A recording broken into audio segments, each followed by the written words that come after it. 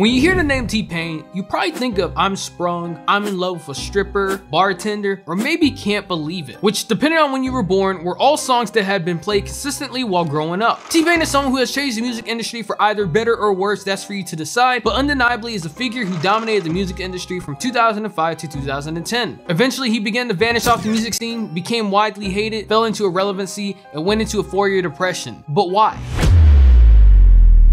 So who is T-Pain? Faheem, better known by his stage name, T-Pain was born September 30th, 1984 in Tallahassee, Florida. He got to start with music early on at the age of 10 by turning his bedroom into a studio due to his passion for making music. The name T-Pain would come as a reference to his hardships and struggles growing up in Tallahassee, Florida. Originally, T-Pain wanted to be a singer, but T-Pain said at the time that if you were singing, you would be considered soft, and so he continued rapping to impress his group, his friends, and people he respected the most. Eventually, he finally decided to say, I don't give a fuck, and went down the path of becoming a singer anyway. Originally at that time, T-Pain was only trying to make beats and was making rap songs for his group with the intention of just trying to impress them. He didn't care about making his music go out to the world. He just wanted it for his group and for his friends to hear. T-Pain's career in the music industry would begin after a cover he did of Akon's song Locked Up. That's fucked up.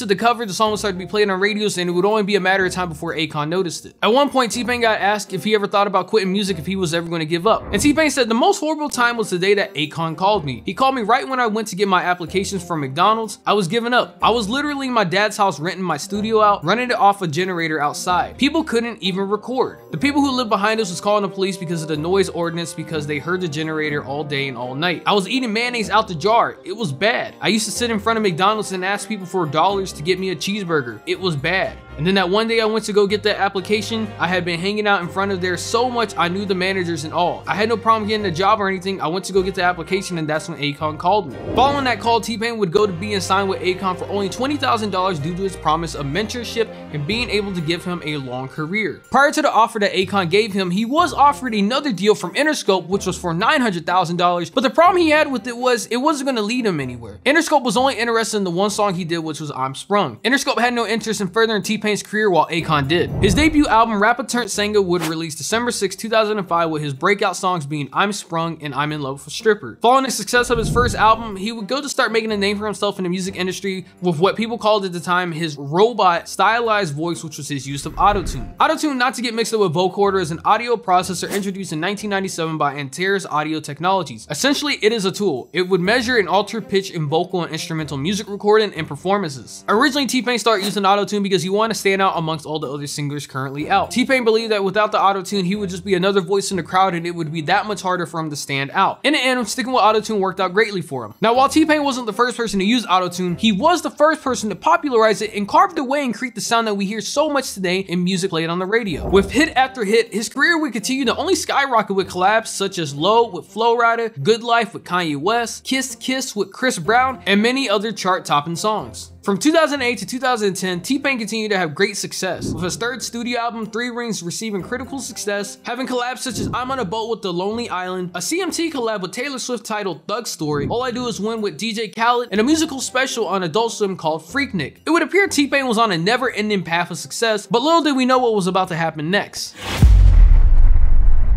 I was awakened by um, by the flight attendant. She said, Usher would like to talk to you in the back. So I got up and went back, and it was like, uh, you know, how's everything going? Quick small talk, no big deal. And um, he was like, man, I want to tell you something, man. I was like, what's, what's what's good? I thought he was about to tell me something real. He sounded real concerned. He was like, man, you kind of kind of fucked up music. So to understand how T-Pain got to his lowest point in his life, we need to know what really happened. Up to present day, there have been different reasons and speculations on why T-Pain got into depression and how he got into it, and eventually he even said himself it was because of Usher. But the thing is, it's a lot deeper than that. Let me explain. Essentially what happened with Usher was just a snowball effect. It was just one of the many things that were piling up that would push T-Pain further and further down. The real reason for T-Pain vanishing was due to his label stating that he needed to fall back. It started with them being like, you need to uh, fall back. You're doing too much. You need to stay out of the That was the worst part because they told me that and they really made me believe that I was doing too many features. I had too many songs on the radio. I was I was doing too much work and I need to fall back. My nigga, a month after I fucking fell back, Jay-Z released DOA. When the track first dropped, it confused T-Pain as he misunderstood why his name was dropped in there and thought it was a song that was directed as a diss towards him. Eventually later on, things would get rectified between T-Pain and Jay-Z, and T-Pain even releasing a remix of Drake's song Successful speaking on the issue that happened with the song Death of Autotune. But unfortunately, by the time that song came out and things were rectified, the damage has already been done in the public's eye. It would seem so crazy and wild that T-Pain would just all of a sudden go dark right after Death of Autotune dropped, because then to the public, all it does is confirm that the song worked and that Autotune was actually going to die. At that time, the word autotune and T-Pain were synonymous with each other regardless of who else might have used it. Any hate that people might have had towards the program was all going to be directed towards T-Pain because he's the one that popularized it. But for him, he learned how to deal with the hate and wasn't phased by it. He learned to get over it. But there's one person in particular that he looked up to that was his idol, and his name would be Usher. Usher was my friend. It was like, nah, man, you really like, you really fucked up music for real singers. Literally at that point, I couldn't listen. Is he right? Did I did I fuck this up? Did I fuck up music? That is the very moment, and I don't, I don't even think I, I realized this for a long time. That's the very moment that started like a four year depression for me. In 2010, T-Pain would come to release his fourth studio album, Revolver, which would come to only move 34,000 units. When you compare it to his third studio album, it was a major drop in sales numbers. Prior to the release of Revolver, he did drop two other singles called Take Your Shirt Off and Reverse Cowgirl. Unfortunately, both of those did not chart well and they were dubbed as promotional singles. Out of all the songs that were released on Revolver, the only song that would actually take off would be 5 o'clock in the morning with Wiz Khalifa and Lily Allen. After the poor release of Revolver, T-Pain's management began telling him that he should drop autotune as it wasn't in anymore and he shouldn't use it. I was having a meeting with my manager, and I was like, man. I, I don't think we promoted the album well enough. I don't think we uh, I don't think we really took the initiative and made sure people knew that it was coming, or we did, really didn't put anything before it. We just did a photo shoot, made the album cover, blah blah blah. And he was like, "No, I don't think that's it, man." And I'm like, "Well, I understand it's your job to do those things and make sure those things happen, so I, I can understand how you feel attacked about this shit." And I'm like, "That, but you sound stupid. That sounds stupid as fuck." And he was like, "Nah, man. I think uh, I just think people don't like auto tune anymore." And I was like, what? it was like, yeah, man. I think people just don't like auto tune anymore. I, I, I, think I think nobody bought your album because people just don't like auto tune anymore. And I'm like, but there's other people that use auto tune a lot that are selling crazy numbers. And he was like, yeah, I just think I just think they don't like you using auto tune anymore. And Maybe you should maybe you should take the auto tune off. And I'm like, but the album is out already. Do I you know, do I put out another version?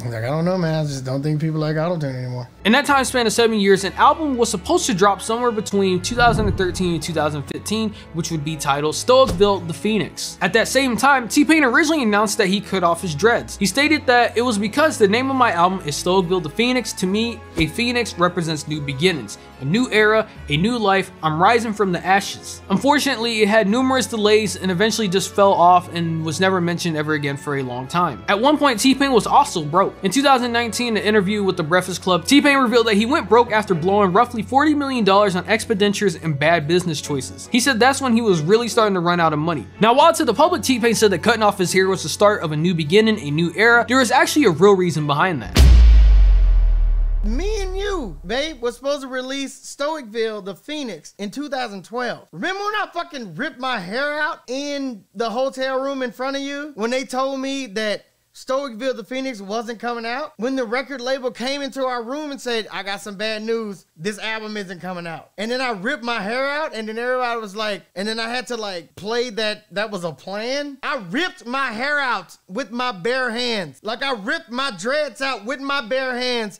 And then the label came out the next fucking month, like, oh yeah, that was a, that was a thing. He was already planning on doing that. And I was like, no, bitch, they did this to me.